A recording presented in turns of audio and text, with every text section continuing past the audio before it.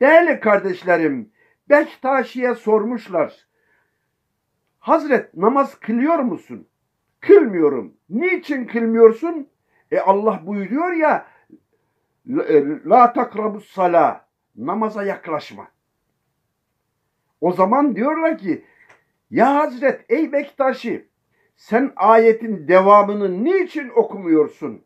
La takrabus salate ve entum sukara. Sarhoş olduğunuz müddetçe namaza yaklaşmayın. Kardeşlerim batılı müsteşrikler de işte bu Bektaşi gibi Kur'an ayetlerinin yarısını alarak diğer bir ayetin yarısı ile savaştırmaya çalışıyorlar. Ve bu bağlamda bir takım alimlerin din adına sarf ettikleri sözleri de delil kullanıyorlar.